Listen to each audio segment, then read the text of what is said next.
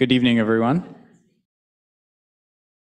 My name is Sebastian Lay. I'm the Marine Biological Laboratory's Chief Advancement Officer, um, and it's my pleasure to welcome you to the second Falmouth Forum of this, this season.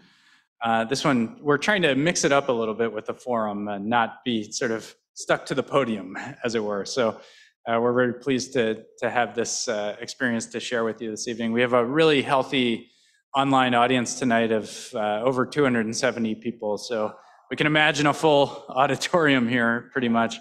Uh, and of course, we have a nice audience in, uh, in the CLAP auditorium this evening.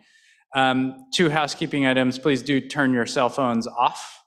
Um, I know we're going to be in for a treat tonight, so we don't want to interrupt. And secondly, this uh, will be uh, both simulcast and recorded. So uh, just be aware of that. Um, and uh, my final thing is to just please thank the Falmouth Forum Committee who selects our speakers, invites them, uh, and really tries to balance the mix of culture, history, and science that we present uh, to the Falmouth community on a year-round basis. Um, it's something that we're trying to, like I said, be creative about. And so if you do have ideas, please do share those with us. Um, this is, is meant to be a resource to the community and something that enriches uh, the MBL community and the wider community here in Woods Hole and Falmouth.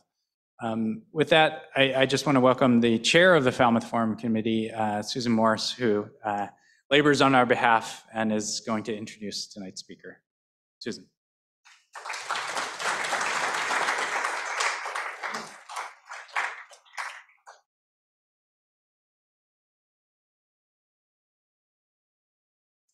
Thank you, Sebastian. And good evening and welcome again to the Marine Biological Laboratory and to the MBL Falmouth Forum.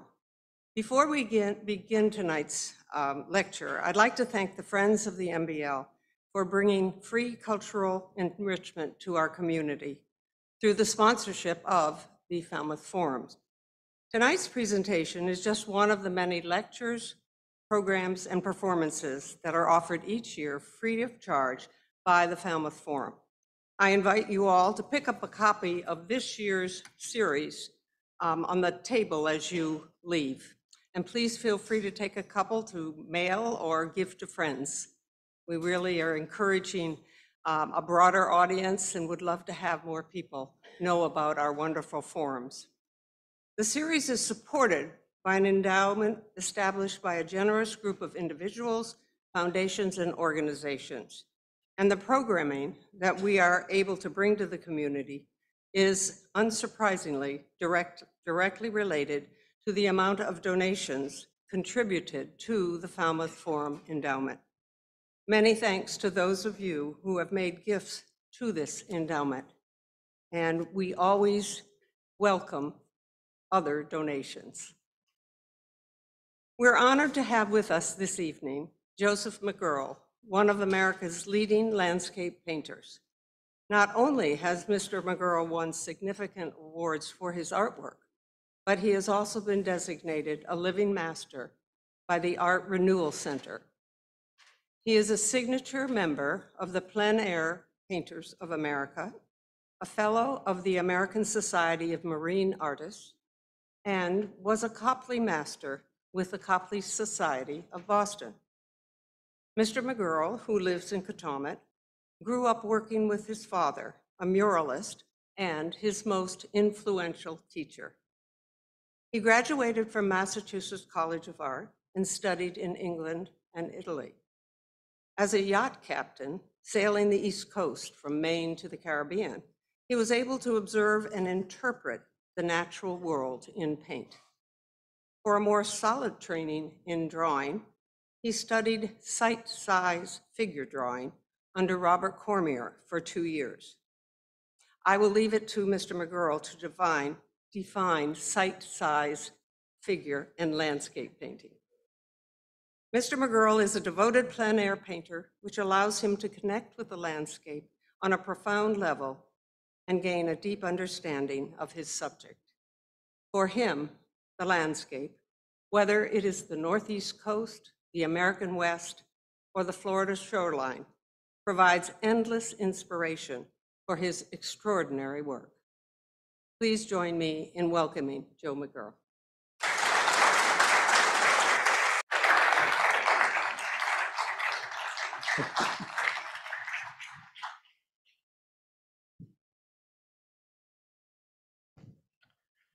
Thanks very much, Susan, for that nice introduction. I'd like to also thank all of you for coming out this evening and listening to my uh, little talk and watching the demo. And special thanks to Tucker Clark and the Falmouth Forum Committee for extending the invitation, and Chris April for coordinating it, and to Mike Schenbacher for his amazing job in setting up this video and audio system. It's always tricky when you're uh, painting to try to have someone film it at the same time. So I think he did a pretty good job, so thanks, Mike.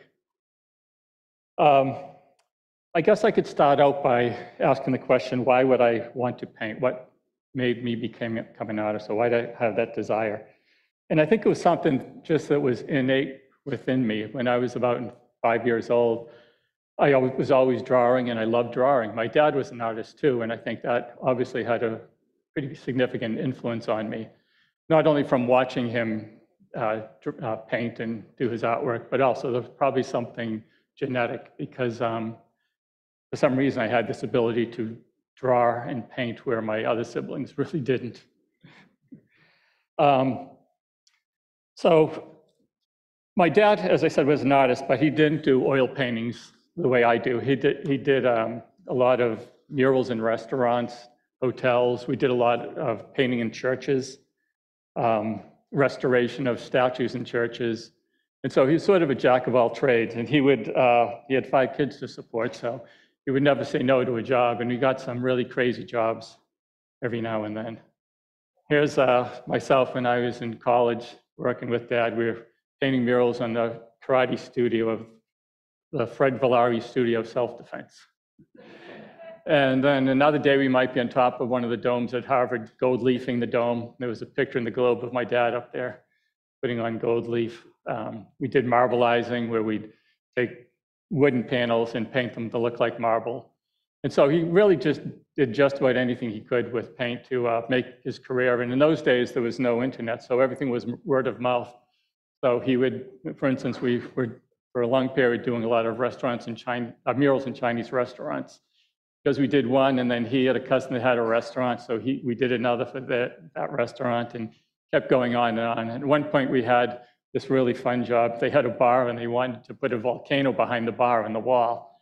And so we put a piece of red plexiglass in the wall and painted the volcano on top of it, but let these rivulets of red show through. And then we put a revolving light behind it, a little speaker, and a, a little thing that made smoke. So about every half an hour, the volcano would erupt, and the bar owner loved it because people would stay for another drink till the next volcano eruption. uh, from fourth to 12th grades, I attended classes at the Museum of Fine Arts in Boston. And this really exposed me to uh, a wide range of art throughout the museum because on the way to class, I'd walk through the galleries and sometimes after class, I was waiting for my mom to pick me up. We'd wander through the galleries and look at different pieces of artwork.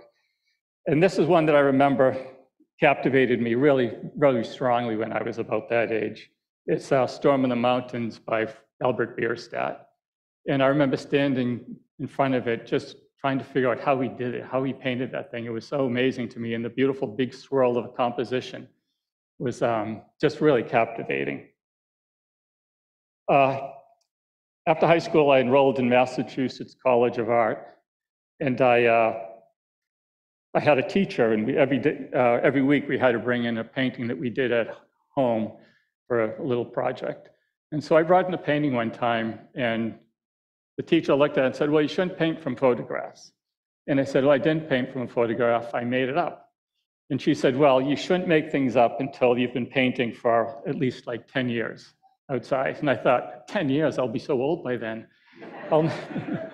it was kind of daunting, but I did go out and I bought a plein air painting easel. And right away I was hooked. I realized that I just love plein air painting. And it was um, that making that connection with nature that really um, had a profound influence on me. So plein air painting really is the basis of all of my art making. Um, I don't always paint, or usually don't paint my large studio paintings directly from the sketch I did in nature. But the plein air painting lets me connect with nature and understand it and sort of dissect it visually and then reassemble it onto the uh, canvas. So I, every part of that painting I have to analyze. If I'm looking at a tree, I have to say, well, what color is that tree? How do the branches uh, branch off of the trunk? And what are the leaves? And what color are the leaves? And how are they grouped? All these different questions because I have to paint that. So it really creates this much deeper sense of concentration between me, the subject, and the uh, painting that I'm painting. Uh, it's uh, pretty challenging to be a plein air painter because you basically have to bring all of your studio supplies out into the field somehow. So you can't do that, so you have to narrow it down to just the essential supplies. And that still ends up to be a pretty big backpack. Um, my backpack probably weighs 30 or 40 pounds when it's all loaded up. And we have all kinds of challenges that we have to confront too. Um, unlike a still life or a portrait painter, we can't rearrange things to make a better composition. We have to wander around and find something that's already made and make that into the composition. We can't change the lighting. Um, we have changing light and shadows as the sun's moving overhead. This, side of the building was sunny when I started, but now it's in shade. Uh, the wind comes along, you're painting this beautiful reflection in a little harbor, and then it gets windy and the reflection's gone the tide goes out. Uh, years ago, I was shooting a video uh, for Spleen, uh, Streamline art videos, and it took the videographer so long to set up all his equipment. By the time he got it set up, the tide had gone out. It was in Maine, so the tide goes out really far in Maine. So we had to pack up and move to a different location because that composition wasn't going to work with low tide. So we have to work quickly because all of these things are changing. Uh, One time I was teaching a workshop and we were down in Wild Harbor up in uh, West Falmouth and there was this cute little Herreshoff 12 and about five or six of the students in the class were painting it. And then all of a sudden this guy comes out, getting his rowboat, rows out to the boat and sails away. and everyone's looking there with long faces. Now what do we do? And he said, well, that's plein air painting. Then there's all other things like heat, environmental things, heat, cold, noise, bugs, talkative onlookers and such. So you have to deal with all those things when you're out painting plein air. But in spite of that, it's the most dynamic field of uh, painting going on right now. All across the country, there are dozens and dozens of plein air events where they'll have a little a town will have plein air artists come in, they'll paint for a week, they'll have a big party and a celebration and a sale at the end of the week. It's really gotten quite popular. Uh, there's a, a magazine editor, he says plein air painting is the new golf.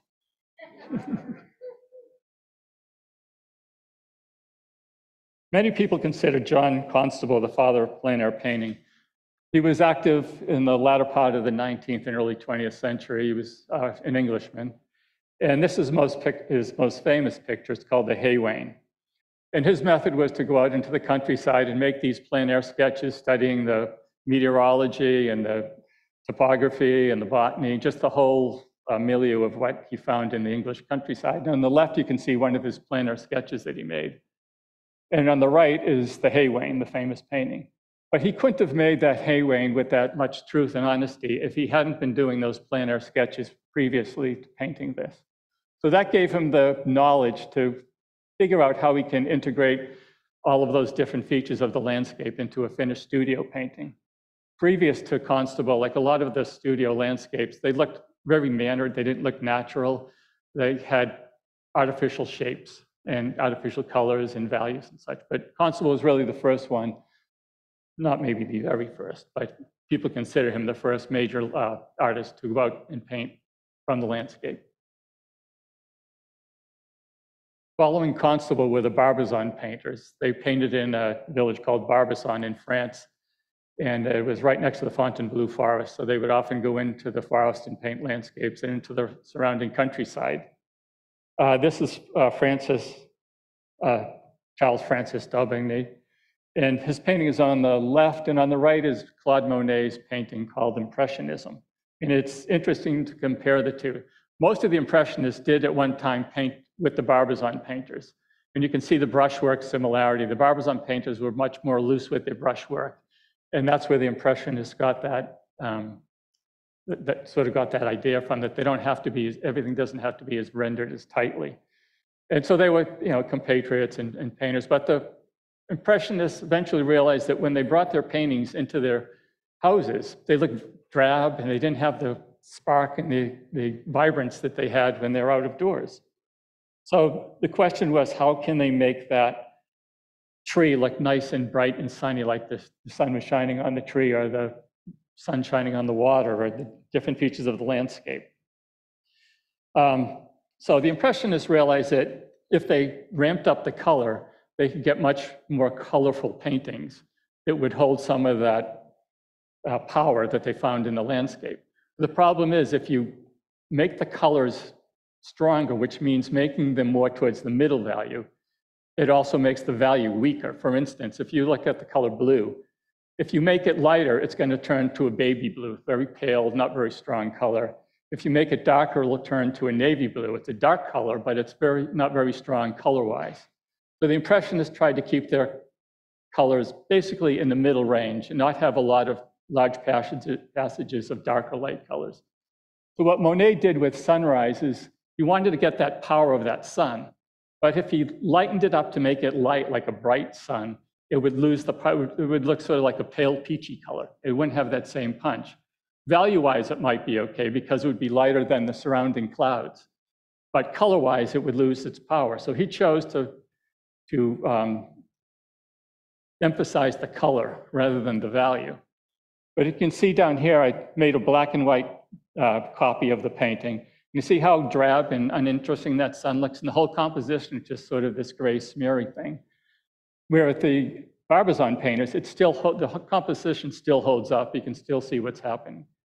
So that's the challenge of plein air painting, landscape painting, and one of the issues that the Barbizon and the Impressionists were dealing with was how to retain the value and the um, brightness that they saw out of doors.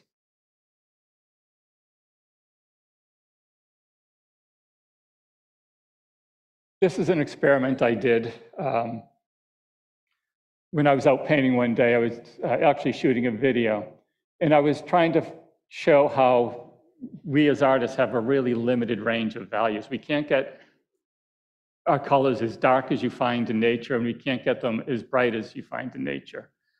On the left, in the top left, there's uh, three stripes I painted on my panel. And you can see the white stripe. I could pretty much match all of those light colors with the white light stripe and the gray stripe. However, the black stripe, that's pure black. And if you look at the shadows of those trees next to it, they're much darker than that black. So there's no way I will ever be able to paint those trees as dark as they are in real life. And then you could say, well, what if you move your panel into the shade? If I do that, I'll have a nice dark sh- shadow, as you can see in the bottom slide. But now look at the white uh, stripe, the white panel there. See the grass next to it? That grass is already lighter than the panel. And when I put a ochre green color on that panel, it's going to be even darker. So that's what we're dealing with, with in landscape painting is trying to get the sensation of a full range of values, but also a full range of color. And I think one of the things that really brought this home to the Impressionist paintings is you, you envision an impression, uh, Victorian house in that era. The windows were small. They were lit by you know, a gas lamp. So they would bring their paintings into a really dimly lit room, and the color would completely fade away. That's why they were trying to bring back the color.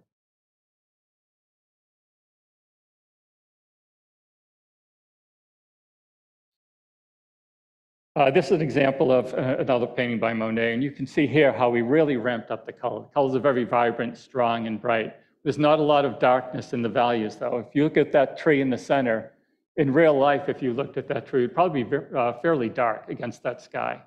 But he said, I want color to predominate over value. So he um, kept the, most of the colors there in the middle range. Remember, like the blue, like a royal blue or a well, even red might be a better example. Red is a very strong color. When you put white in it, it turns into pink, which is kind of a weak color. You put black into it, it turns to maroon, which is not a weak color color-wise. So what he did was he said, I'm going to keep all my colors in the mid-range and have the colors as strong as I can. One way to paint, overcome this dilemma is to paint on a cloudy day. And that sort of helps a little bit. Um, This is an exercise that I do, I call it the disappearing canvas. And what I, I'll talk about the sight size method in, in a minute, but what I do is I try to paint the colors exactly as I see them and draw it as exactly as I can. And then I should be able to line up with the camera the scene that I painted and have the painting superimposed on it, and it should uh, somewhat disappear into the landscape. Um, It's a good exercise that I do with a lot of my workshop students too, because it teaches them to be really careful. And you think you have the colors exact, but when you line it up next to the, the actual color you see in nature, you can see your errors much more easily. Uh, to help with this issue, I made this thing up that I call a sight size viewfinder. Uh, Susan asked me to explain what sight size is. Sight size was uh, actually developed for figure painting. And John Singer Sargent, for instance, used that method when he painted all of his figures. What you would do is you would have a figure, say, stand there, and your canvas would be right next to him. It wouldn't be back where you are. The canvas and the figure would be next to each other, and you'd stand back here, and you'd look out, and you'd make a mark on the canvas where the top of the head was, then you'd stand back at your looking spot, and you determine if that was right. And if that was right, you'd mark where the chin was and the shoulders and so on. Then you you'd fill in everything as you go along. But the point is you draw from back, you look from back here and you draw up there. And when it's done, you look at the figure and the painting right next to each other. The painting of the figure is the same size as what you see. That's where they get sight size. So that was a method that I learned when I was studying figure drawing with Bob Cormier. And then I thought, how can I adapt that to landscape painting? Well, you can't because you can't put your panel next to a mountain that's 10 miles away or a cloud that's three miles up in the sky or so you have to figure out a way to sort of approximate that. So what I did is I made this grid and I attach it, as you can, as you can see in the photo, I attach it to the side of my panel. And everything I see in the grid, I just horizontally, or I can do it above too, vertically onto my panel. So I call it sight, sight size landscape painting. And it works really well. It makes my drawing go much faster. And as I was saying, it's really hard to paint fast enough when you're out in the landscape because you have all these changes that you're dealing with. So this speeds up the process quite a bit. And I started um, using it. And I, when I do my workshops, I thought, well, I should tell the people about the grid that I've been using because it's not fair for me to keep it secret. So then they wanted one. And it's like we kind of made them out of cardboard, but it didn't work that well. But my son is an industrial designer, and the company he works for make, was making things out of metal. So I asked him, I designed one and said, Could you make this? And he said, Yeah. So they uh, produced them, and I now sell them on my website. And um, it's, uh, um, I think it's really helpful for landscape painters, but you can also use it in the studio too.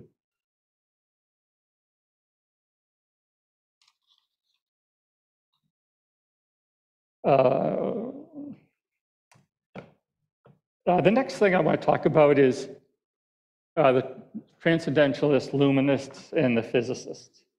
Um, let me get my slide right here.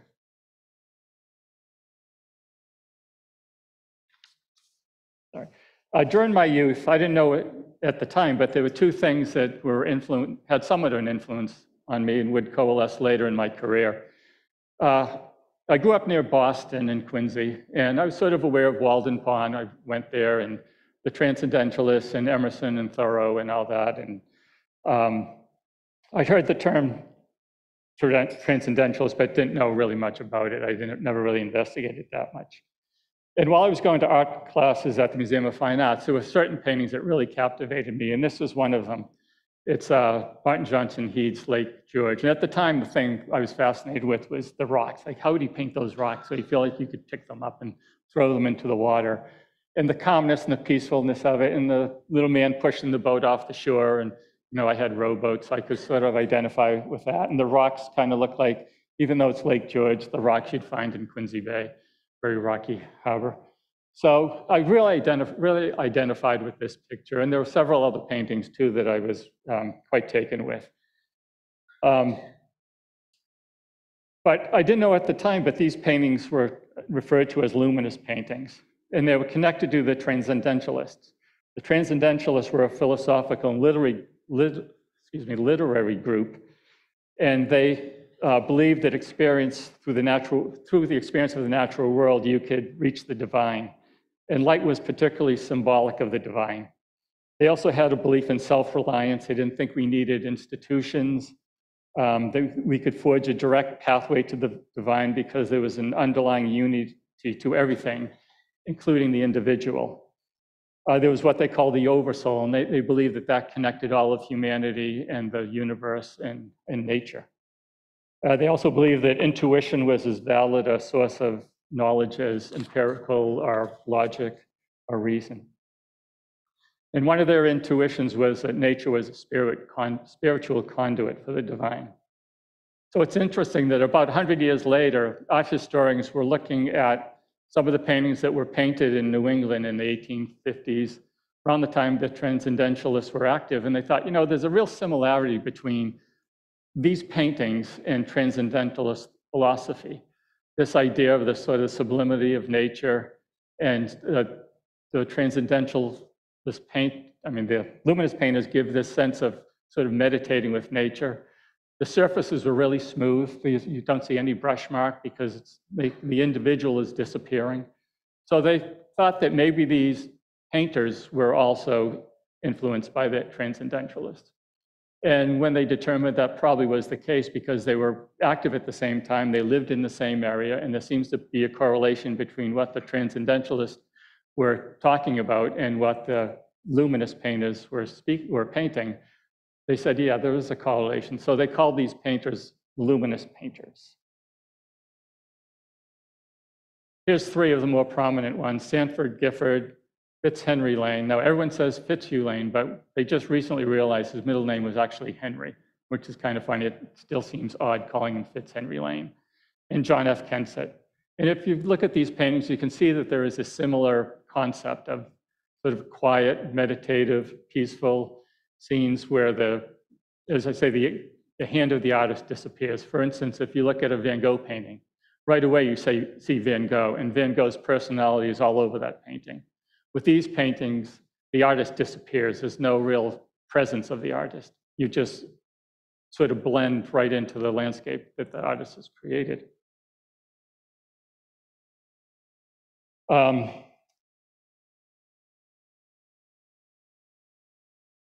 excuse me. Trying to keep track of where I am with the little slide presentation too.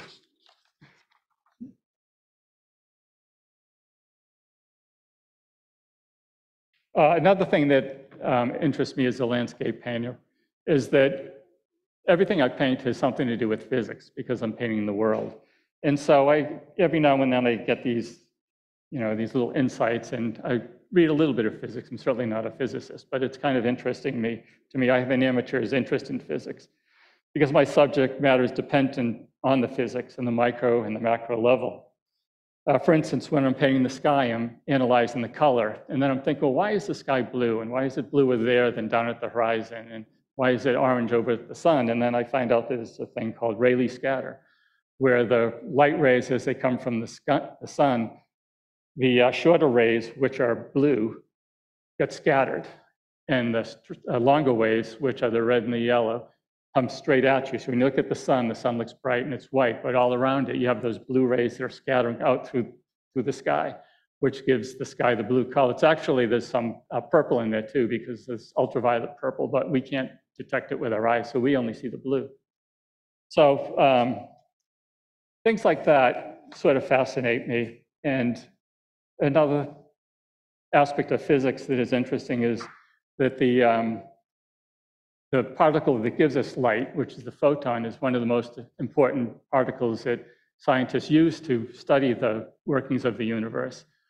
So we have the photon that the scientists use to study the workings of the universe. We have light that the transcendentalists thought was sort of all uh, really important as far as conveying the sense of divinity in the world. And we have the luminist painters who were focusing on painting light. So I thought it was interesting how those three aspects of light sort of all are very important to three, um, three of the subjects that I'm interested in and three of the things that sort of permeate my paintings. Um, if I'm painting a rock, for instance, one of the other, when I'm out painting by myself, I have all these thoughts that come into my mind. And if I'm painting a rock, I think that if I knew everything about that rock, I would know everything about the universe. I would know where we came from, because according to physicists, matter can't be destroyed or created. So that rock has existed forever. I would know how time began. I would know if there's a God, how were things created. I would have the answer to all those things. So that's another little fascinating tidbit about painting the landscape that um, keeps me intrigued. And uh, when I'm out there painting in the field, those are some of the things that I sort of meditate on.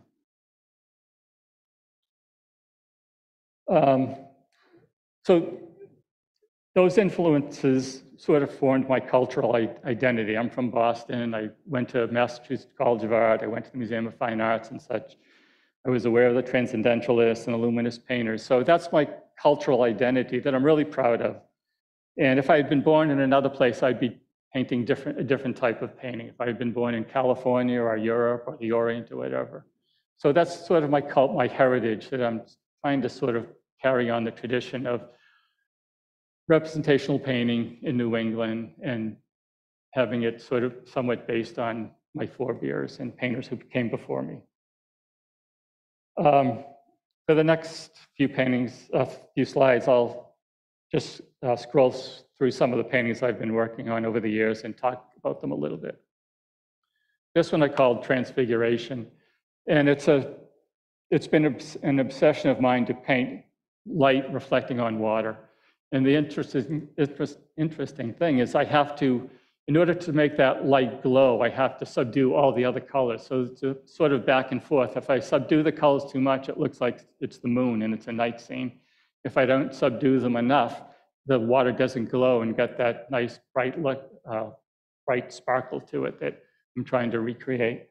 And I did a sort of a series of paintings based on that little uh, spot of sunlight down in the bottom. One time I was painting in Boston Harbor and I saw that. And I really studied it and tried to paint it as accurately as I could and understand how I could make it look like it's glow, glowing. So I've done that in a couple of paintings and I brought one here that I'll show you where I've been working on that idea of the little spot of sunlight and then in the distance, in the background, sort of the scattering light across the ripples of the water. Um, for this painting, I had, this is imaginary um, as most of my larger landscapes are. And I needed a vertical accent in there because it was too, there were too many horizontals. So that's why I added the osprey stand. Uh, this was painted, I was, years ago, there was a man and he was living on his boat in Squeteague Harbor where we live. And the ice had frozen in over the winter. And he had a dilemma because at this stage, the ice was too soft for him to walk on but too hard for him to row his boat through. So he was stranded on his boat in the middle of Squeteague Harbor for a couple of weeks. And I was driving by one time, it was sunset, and I saw him. I said, oh, that'd be a cool painting to make. So a few days later, I started this painting. It wasn't based on sketches, just sort of my memory and imagination of what I saw. But one of the values of plein air painting is I paint the landscape so much that I can make up things completely made up out of things that I saw. I don't have to I don't have to see the exact thing that I'm painting. And it gives me a lot of freedom to invent things. Here's some plein air paintings I've done. Uh, on the top is a collier that was painted up in Duluth during a painting trip. And on the left side is the painting. On the right side, I took a photograph of the collier to see how close I came to it. I did make some changes compositionally in the, the painting you'd see in the lower right. There were some bushes out of my view, but they were there and some driftwood at my feet. So I thought if I brought them into the scene, it would make a little bit more interesting painting. And it would also give more truth to the scene because they were really there. So when you bring elements that aren't actually in your viewpoint into the scene, sometimes it creates a, a more complete story of what you're painting and what you were looking at. Uh, the sunset is another uh, challenging thing to paint because it happens so quickly. So with sunset, you're really painting the future, the present, and the past. And what I did was, this was out in Colorado, and every day when I'd come back from painting, I saw this little valley with the village down uh, in the, between the mountains. Now, that'd be a great painting, but I was always too late to, to do it because this was the light that I saw. So then one day I came, uh, packed up a little bit early, came to this site, and I set up maybe a half hour before sunset, and I started blocking things in, kind of painting what I think was going to happen. And then as the sun set just beyond the distant mountains, I had about 10 minutes to paint what I actually saw, what was actually happening. And then for about 10 minutes after that, I painted what I remembered. So it's like you're painting the, the future, the present, and the past with um, plein air landscape painting. And the painting in the lower right isn't what you would call a luminist painting. But every, like the original luminous, every painting they did, what didn't fit sort of the definition of luminism. And this was a scene painted out in Colorado, uh, California.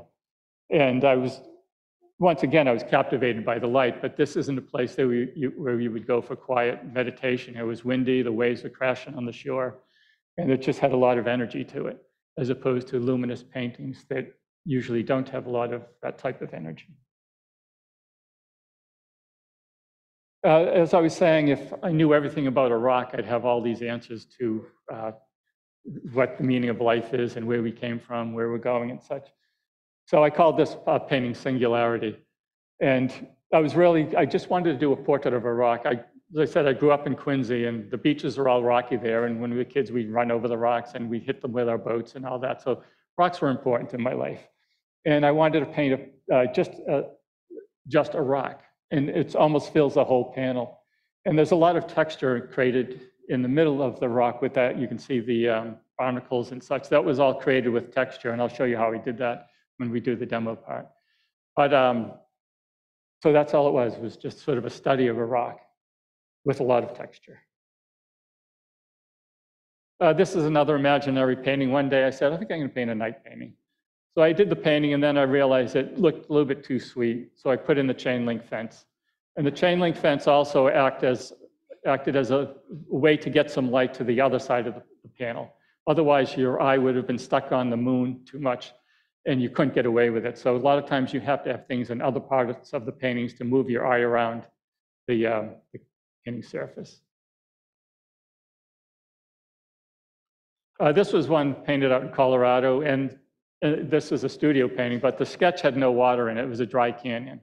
When I was working on this painting, I thought, you know, it'd be more interesting, and I think I could, you know, really more thoroughly describe the phenomena of sunlight if I had a reflection of the light that the rocks were casting onto the water. So I added the water in the, in the, in the painting.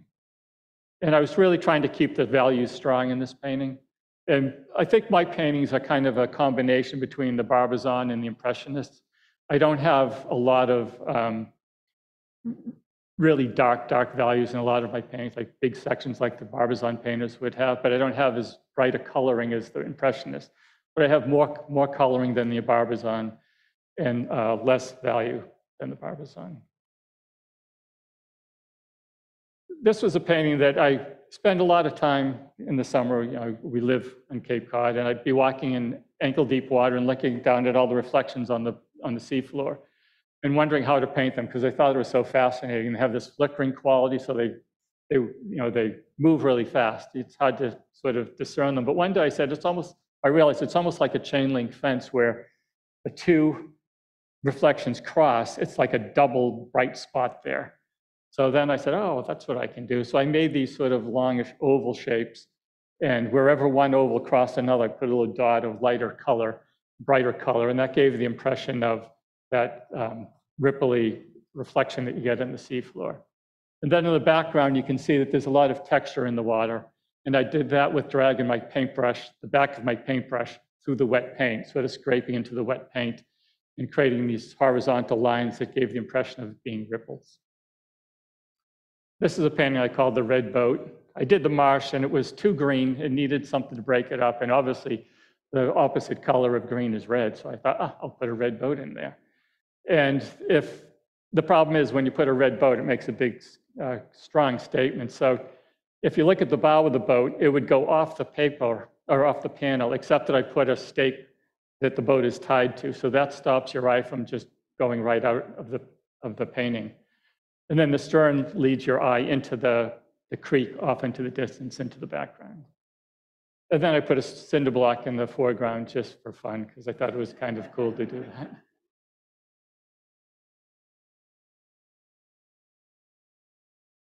This was a fun painting. I was, years ago, I was flying out to uh, Minneapolis for a, or Indianapolis for a painting event. And there was this enormous thunderstorm out the window. And we had a little TV screen in the seat back in front of me. And I thought, I wonder if the thunderstorm's on the, the news. So I turned on the Weather Channel. Sure enough, at that time, they're talking about this massive thunderstorm over the Midwest. I thought, this is amazing. I'm flying across the country, looking out my window at a thunderstorm, and I'm watching the TV as they talk about that very thunderstorm. So I had a little piece of, uh, some pieces of paper and a pencil. I thought, I'm going to do some sketches of the thunderstorm. So I did a bunch of little sketches of the, uh, pencil sketches of the thunderstorm. And then when I got home, I made this painting called Thunderstorm over the Midwest from a plane window. Um, but it was a really fun little experiment to do and seeing if I could paint thunderstorm from memory and from my little sketches. Um, for the next segment of the presentation, I'm going to take you on a little journey that begins just after the plein air sketch. And it's, okay, I have these plein air sketches, what do I do with them? And I'll show you how I uh, complete them in the studio. Uh, the studio paintings are based on empirical observations, things that I've seen in the field. Um, and I've dissected them, as I said, and put them back on my panel, my imagination and logic. So like I can imagine something, but it has to work logically. So if, for instance, to simplify it, if the sun's here and the tree's here, the cast shadow is going to be down here, things like that. So it's those three things, empirical observations, imagination, and logic that I use to make the studio paintings from. As I said, I usually don't make a plein air painting and make a just an enlarged version of that. But sometimes I do if I really like the plein air painting. I think it'll work better. So uh, let's see if we can do this without spilling paint.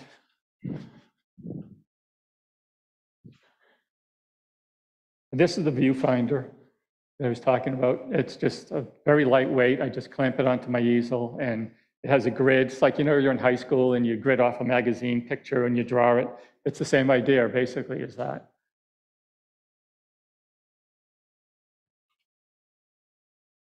When I st- start a painting, the first thing I do is an underpainting so I can get the composition. And I just use black and white because black and white uh, value determines your composition, not color. So I can set my composition, and if I need to make any changes, it's really easy to change because I just have to mix black and white. I'm not worried about matching color. And I'll make, you know, significant changes to the composition as I'm laying it out. And then once I get it, so I'm pretty happy with it, I'll start applying color and texture. Uh, this was a painting I did out in Utah uh, near um, Glen Canyon. I was on a painting trip there last year. And remember the rock painting that we uh, that I showed you, the singularity? I want to create some of that same texture in this foreground because the foreground, the, the, the ground out there is very textural. It has all the um, rocks. It's very rocky and rugged, and it has the um, the foliage is sort of gnarly and so what I'm going to do is mix in some acrylic mediums. This is coarse bead gel. This has tiny little beads in it. And what happens is I'll paint on a layer of the beads. I'll have to let it dry. You won't see that aspect. And then I'll paint, when it dries, I'll paint another uh, layer of bead gel on it. And the gel gets stuck on the little bumps of beads. It makes a little lump like you saw in the singularity painting. So I'll have this all over lumpy texture in this foreground. Now, the thing about texture is I like to have texture replicate what we actually see and experience in nature. So this foreground is going to be very textural. But as things move off in the distance, you're not that aware of the texture. You're aware of more of the shapes and such. And then when you get to the sky, there's no texture in the sky. So I'm going to have sort of an aggressive texture in the foreground little or no texture in the middle ground because that's pretty far away and a really smooth sky. So I like to have this tactile connection between the painting and reality.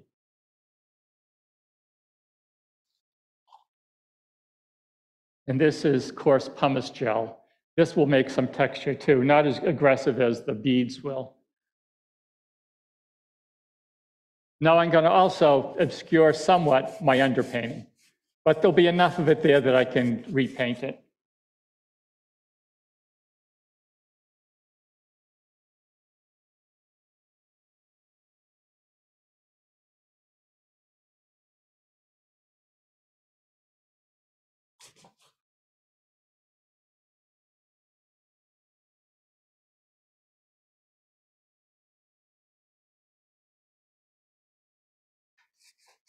For me, painting is a it's a fairly long process because I use a lot of different layers and a lot of different techniques. Some artists, they can get a painting done in a day or two, but with me, it's usually months. I also like to let them sit at different stages and look at them. And oftentimes I'll make significant changes from what I originally was painting um, to what it turns into because the more you look at it, the more you see things that just don't work very well. One time I was painting these trees and I thought they looked fine. And then I walked down to the studio one day and said, there's a big peace sign in the middle of that tree, just the shape of the light and the shadow. And every time I looked at it, I couldn't get away from the peace sign. So I had to change the shape of the tree. But I hadn't noticed that for, you know, quite a while as, as I was working on the painting. It's good to, in the morning, they, I'll get down and I'll look at my paintings and see what I did the previous day. And they call that the fresh eye. So when you look at a painting with like a fresh eye, it, um, you see things that you didn't notice when you were staring at it for hours and hours during the day before. The other thing I do often is I'll turn my painting upside down because that allows you just to see the, the design or the composition rather than objects. Because if you if you're looking at it upside right, you keep seeing objects. You turn it upside down, there's no objects, it's just all these shapes. And you can tell if a shape isn't working or not by turning it upside down. And by isn't working, I mean sometimes a shape might be sending you off the canvas, or there might be two shapes too similar and too close together. You want to have variety in your painting. So um, turning it upside down works. Also a mirror, I look at it, at it in a mirror a lot of times too.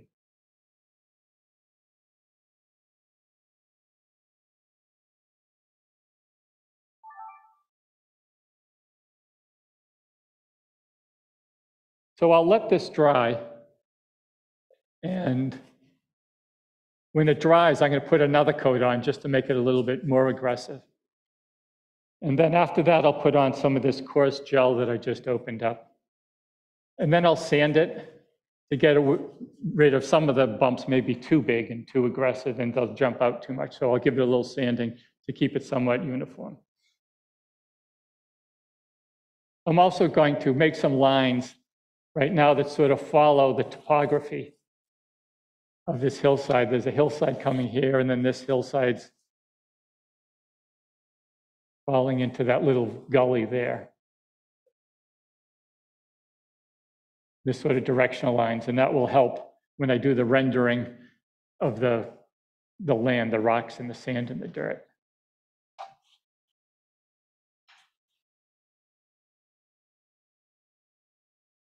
Now I'd put this aside, and as I said, I'd wait. I, I could probably give another coat in a couple hours if I wanted to.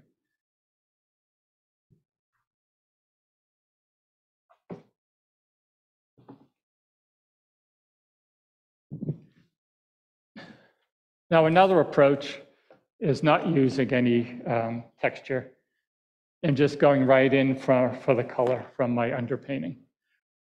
This is an imaginary scene, but I was in Quissett this past summer and I was standing at the end of the harbor where they have a stone pier. And I was looking at the reflections and the shadows and such that the stone pier was making on the water. And I thought that would be really interesting to try to recreate in paint. Should I wait just a sec, Mike? Yeah. Okay.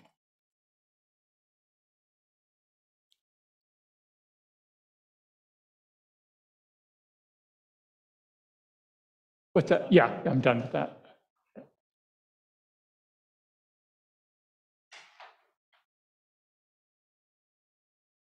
This is actually okay. Give me a minute to put away my acrylic mediums. so these are acrylic mediums, by the way. The underpainting is acrylic, and the overpainting will be oil. You can paint um, oil on top of acrylic, but you can't paint acrylic on top of oil. It's like if you're painting a house, you can put oil base on top of latex, but not latex and oil, or else it'll scratch right off.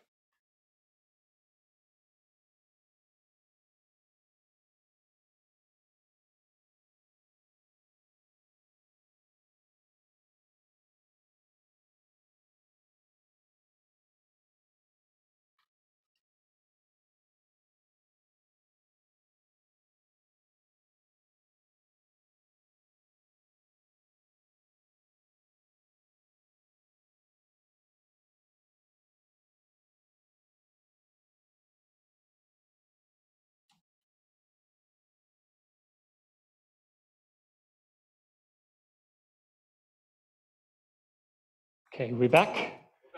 Great. So um, for this step here, I'm going to put, just paint very basic. I don't like to get too well-defined in the beginning of my paintings because I may change things. And if I spend a lot of time fussing around getting all these little things finished, and then I realize I should change something, it's going to, I'm going to be resistant because I put so much effort into that. So I start kind of broad and sloppy, and then I eventually get neater and neater and more accurate.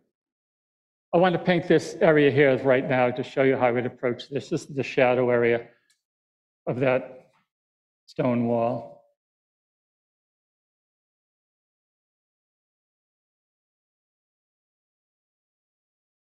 I want a dark color for the stone part.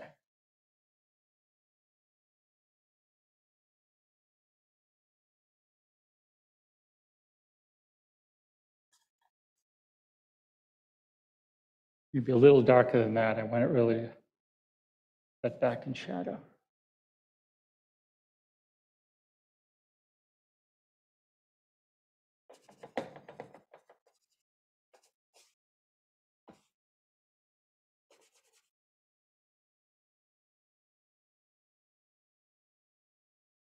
Down by the water, there's going to be a little bit of a waterline stain here. That'll be a little darker. It might be too dark, but I want to make this a little darker, so let me move some of that up.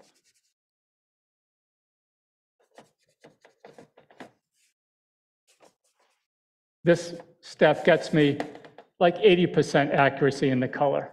There again, I don't want to spend too much time on it because once I get this whole thing filled, I may realize that one color passage is, not, is too light, too dark, too warm, too cool, whatever. So I can easily change it rather than spending forever trying to get the colors exact. Also, I don't know what the colors are going to look like till they're next to other colors and they react with the other colors that they're adjacent to. So it's, it would be silly for me to spend a lot of time getting that color right. And then when I get it finished, I realize, oh, that, uh, the value is much too light or too dark. So the interesting thing here is, this is what interested me about this painting, is we have the stone pier, we have the cast shadow in the water, we have the cast shadow in the water with the reflection also, and here we have just the reflection with no cast shadow. And here we have the water with no cast shadow or reflection. So there's this real intricate scenario going on in this, in this little section of the painting. This cast shadow and the reflection where they overlap is going to be dark. Because the reflection is dark and the shadow is dark, so they're like double dark.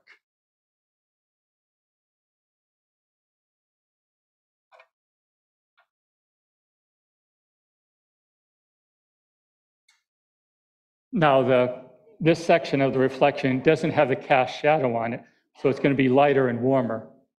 So I'm going to lighten this up a little bit and warm it up. That's too light.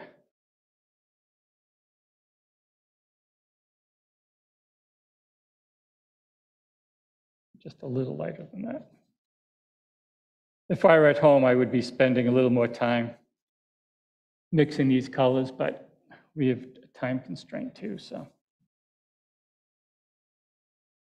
But I just wanted to get you, give you an idea of the process that I go through. Other artists, you know, have a completely different method. Some artists may have a method somewhat similar to mine.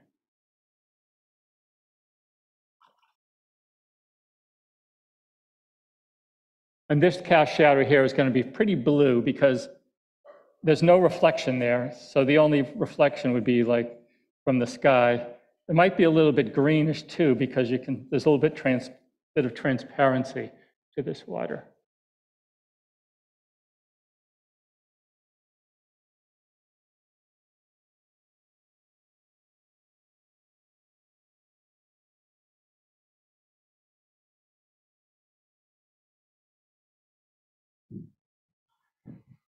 Then the water around it is going to be lighter than that. And near the shore, it's going to be a little bit green because you can see a little bit through the water. But as the water moves away from your eye, the angle changes that you're looking at it, and now you see more reflection. When you're standing at the shore, you can look down and you see your feet. You look at the horizon, you see the reflection of the sky. So there's a transition that happens between seeing through the water and seeing the reflection. And it depends on the angle that you're looking at it at.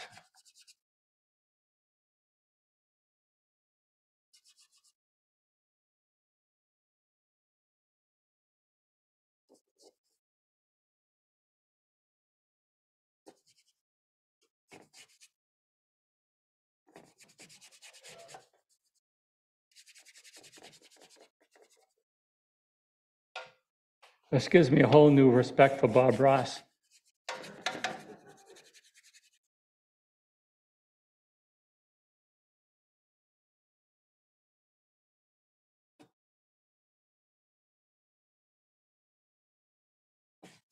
And the water's getting bluer off in the distance.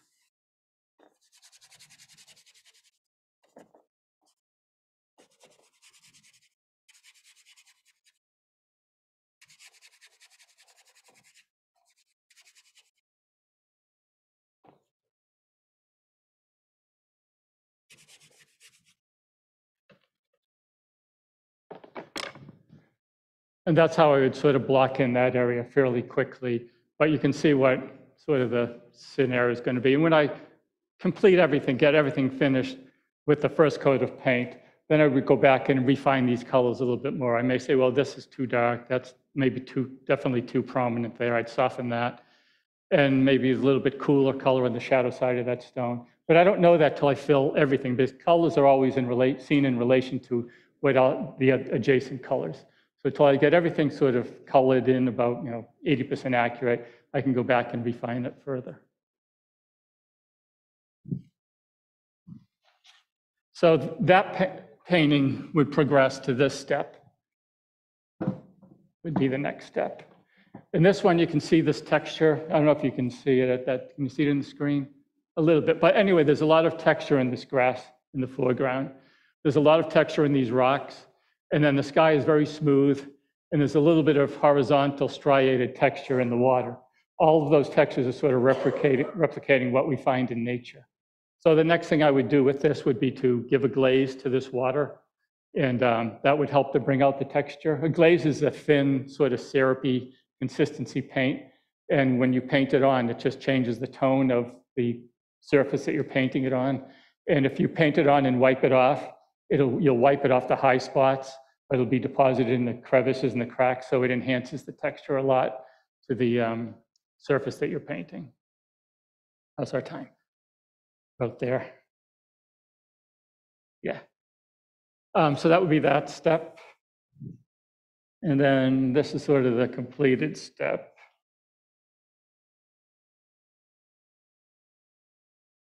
And this is a painting where I was talking about the reflection in the water down there, where I was really interested in trying to create that little blob of sunlight. And I think I put a little scratch and bringing it over here, I can repair that easy enough. But I want to make this a little bit lighter. So what I would do is when I get home in the studio, make this surrounding water just a little bit lighter with a glaze too. There again, it's a semi-transparent layer that you put on. We can just modify the color a little bit. And um, I think that's our time. But uh, if you have any questions, I'd be got some time for questions, I think.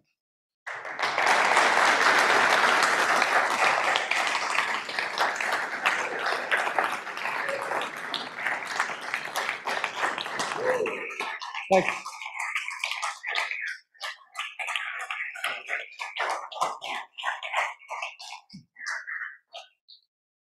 Thank you very much. Thank you, Joe. Um, Any questions in the audience or online? Well, uh, it- Is it on? Okay. Uh, You said it takes you months sometimes to paint the paintings. So how many paintings can you get done in a year if it takes you months to paint a painting? Good question. I always work on several at, at a time. So I may have anywhere from four to eight paintings going at once. And sometimes they go along really quickly. Everything seems to work right. And other times I get halfway through and I realize there's a major compositional problem or some type of flaw in the drawing or something. So I'll have to repaint it, sort of retrace my steps a little bit and then move forward again. Um, But the fastest I could do like a painting like this would be, the very fastest would be a month. Typically, I'd want like a couple of months to work on it. There's also a lot of time I like to spend looking at it and sort of contemplating because suddenly, though, as I said, like the peace sign pops out and you didn't see it before and you've been working on it forever. It's like, wow. And then you can't unsee it. Like every time you look at it, you see it. So how do you know when it's ready then? Uh, when I don't see any more flaws and it looks fine and I've looked at it for a few days. But it's amazing when I, most times when I think the painting's done, I'll let it sit in the studio for maybe a couple of weeks and I make a lot of changes. And I think, whew, good thing I didn't send it out then. It would have been terrible. Uh, We have one online, I think.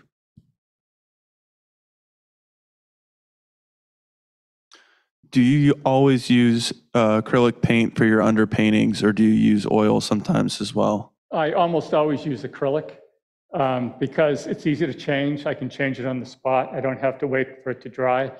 And if I were using oil, you're either wiping it off and then repainting it or waiting for it to dry. With the acrylic, this is acrylic gesso. It's not uh, acrylic paint.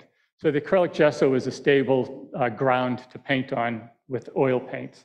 And um, I like to have as few layers of oil paint as I can, even though I end up having several layers. But if I were painting an underpainting with oil paint, that would be one more layer of uh, potentially un- unstable surface. So if the fewer layers of oil paint I have, the better, I think. And it's easy to change, you know, it, it, it dries in a 15 minutes, it's dry, and I can change something if I have to.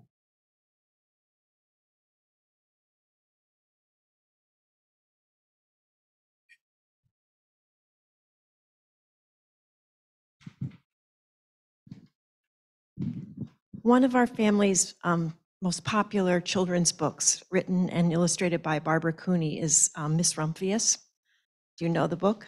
Is, is- what is it? Miss Rumphius. No. Okay, so as a little girl, she's brought up by her grandparents, and she helps her grandfather paint. Uh, he does landscape paintings, and she's allowed to paint the clouds. And he says when she grows up, she has to do three things. She has to um, travel the world, but then come home to live by the sea, and then to do something to make the world more beautiful. So, my question for you is when did you know that you were going to do something to make the world more beautiful? Well, thank you very much for those kind words. Um, I, I don't know, it just sort of evolved slowly. You know, when I got out of college, um, I didn't know what I was going to do. I became a yacht captain for a few years because I thought I could paint and sail at the same time. Then I realized I really can't. I did, I did do a lot of painting when I was sailing, but not enough. And I realized that if I want to be an artist, I really have to rededicate myself to learning how to draw and paint. That's when I went to Bob Cormier in Boston, and we drew the figure for two years with just charcoal. It was just charcoal, and it improved my drawing so much. And it also taught me to slow down and really look at my work. At Mass Art, they were more, they were kind of into the abstract and more gestural things. And Bob Cormier and the um, sight-size drawing method is the exact opposite. It's like you very slowly, very carefully, you looked exactly at what you're uh, seeing and draw it exactly the way you see it. And the idea is by the time you can draw something exactly as you see it, you can draw anything. And then you can loosen up, or you can tighten up at will. You have complete control over your, your your art making. So it was, it sort of evolved, but as I said, when I was five years old, I remember I was in kindergarten, the teacher asked what everyone wanted to be, and I said an artist. So,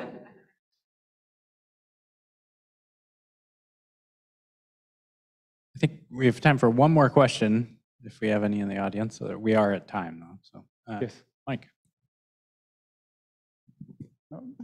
I just want you to talk a little bit about making it up, painting um, that you're not looking at that scene. Is this a painting that you've made up?